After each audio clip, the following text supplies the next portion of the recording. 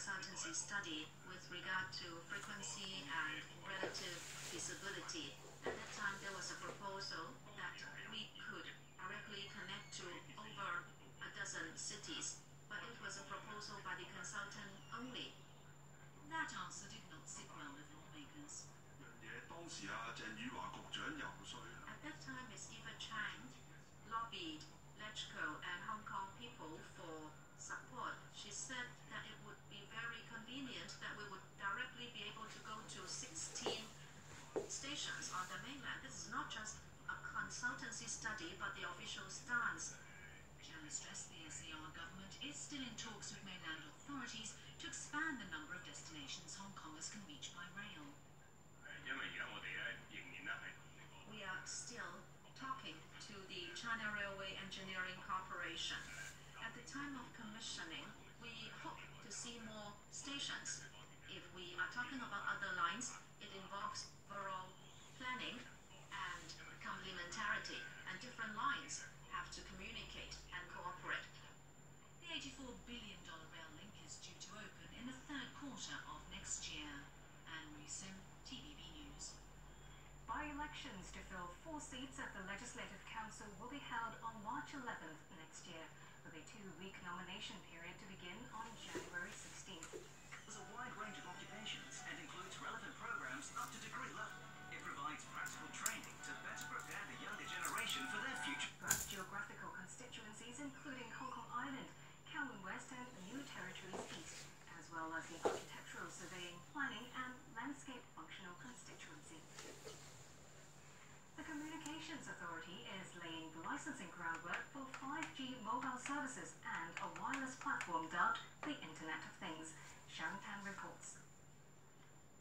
Will be easier with fifth generation or 5G services. It supports high speed communications technology, including IoT or the Internet of Things. IoT is an emerging technology that connects networks with devices to generate, exchange, and consume data with minimal human intervention. For instance, a smart meter system for utilities could be deployed by water and electricity providers. The usage data could then be automatically generated, which means there's no more need for humans to pay regular visits to your home and read the meter. Real time usage information could also make waste management more efficient. IoT sensors can be installed in garbage bins and detect if there's a need to replace them when full. To achieve all this, the Communications Authority will relocate the existing shared frequency bands to vacate spectrums for the provision of 5G services. In return, companies with IoT licenses will provide machine to machine type communications, but not any voice communication. A fixed cost of 100,000 Hong Kong dollars will be required, and existing telecom licensees may submit their applications.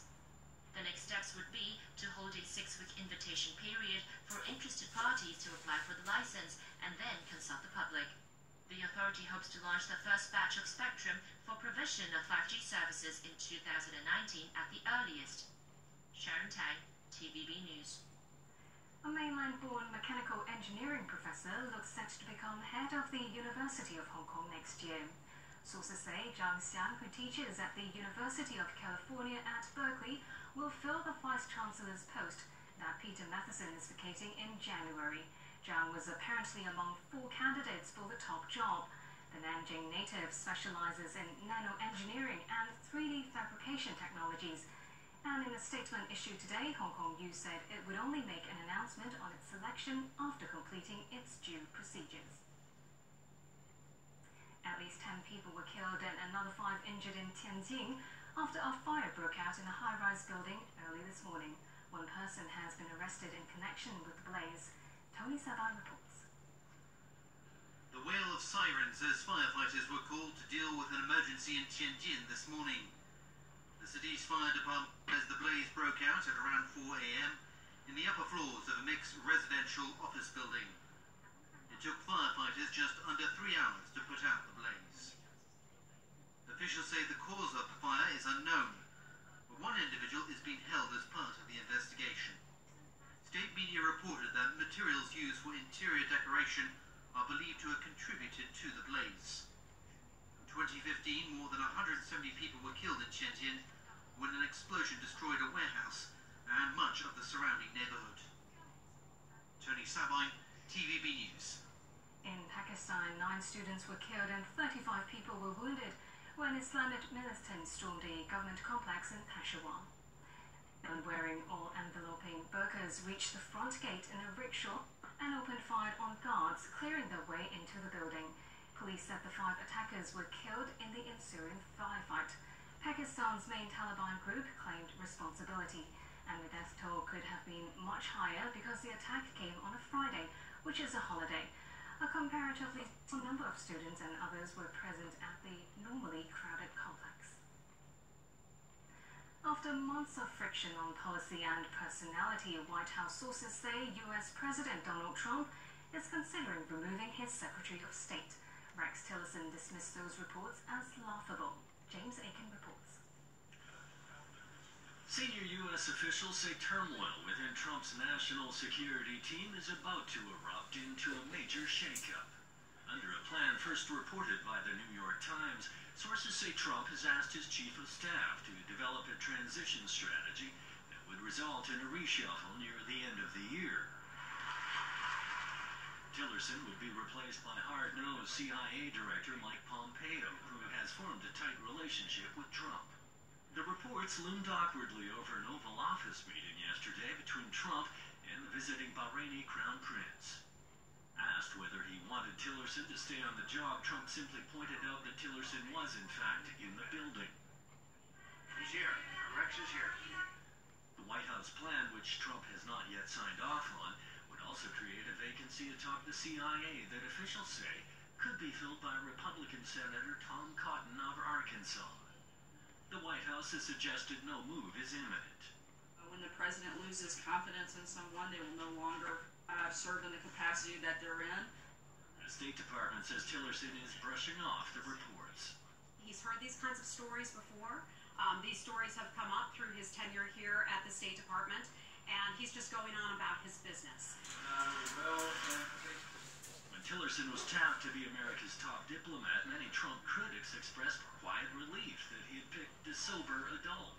But the former oil executive has been increasingly at odds with Trump over issues such as North Korea and under fire for planned cuts at the State Department. Tillerson earlier tried to dismiss reports he privately called Trump a moron. Cabinet overhaul could produce a significant shift in both the tone and direction of the president's foreign policy.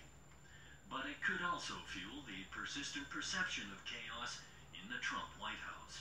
James Aiken, TVB News.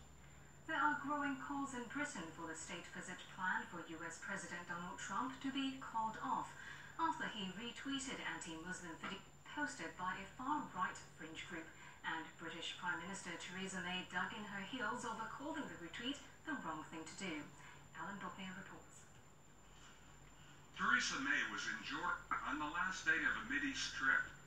Responding to reporters' questions at the end of the visit, May called the group that posted the videos, Britain First, a hateful organization that runs counter to common British decency. The videos show Muslims engaged in acts of violence without providing context or supporting information. They've been denounced as fake.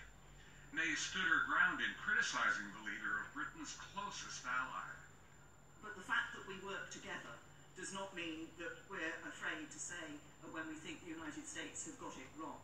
And to be very clear with them, and I'm very clear that retweeting from Britain First was the wrong thing to do. Amid calls from some British legislators to cancel President Donald Trump's state visit, Home Secretary Amber Rudd urged them to look at the wider picture. But the importance of the relationship between our countries, the unparalleled sharing of intelligence between our countries, is vital. It has undoubtedly saved British lives. That is the bigger picture here, and I would urge people to remember that. May has said the invitation for a state visit has been extended to Trump, and it has been accepted, but a date has not been set. Earlier this week, Trump responded to May's criticism by tweeting that she should focus on Islamic terrorism in the UK rather than on him. And the White House continues to defend Trump's retweets of the videos. Look, I think what he's done is elevate the conversation to talk about a real issue and a real threat, and that's extreme violence and extreme terrorism. Analysts predict the transatlantic partnership is strong and important enough to get beyond current strain. Alan Bocchia, TVB News. Sports news in the NBA, the Cleveland Cavaliers beat the Atlanta Hawks for their 10th straight victory. Meanwhile, the Milwaukee Bucks went to Portland and snapped the Trailblazers' three-game winning streak. Jeff Tang takes a look. The Bucks visited the Blazers in search of their second straight win and took a 33 21 lead by the end of the first quarter. Giannis Antetokounmpo had a poor shooting night, so Khris Middleton carried the Bucks' offensive load. The Greek freak with another miss here, but John Henson was there for the offensive rebound and put back. Giannis was still a freak on the defensive end though, as the Bucks ended the half at 60 to 45. Besides Middleton, Eric Bledsoe also carried Milwaukee's offensive load. Here's Giannis with the steal and the dish to Bledsoe to push the lead up to 24. Cleveland, pass ahead off the floor. Bledsoe had 25 points for the Bucks. Jusuf Nurkic led the Blazers with 25 points and 11 boards, but had little help from the rest of the team. That's because their all-star point guard Damian Lillard played a mediocre game with just 18 points. Meanwhile, Middleton had a game-high 26 to lead the Bucks to a 103 91 victory. A nice way to finish off the four-game road trip. Milwaukee improved to 11-9, while Portland slipped to 13-9. Jeff Tang, TVB News. Now here's the weather before we go. It will turn cooler again on the weekend, with the mercury dropping back to the teens. And that's the news. Thanks for watching. Good night.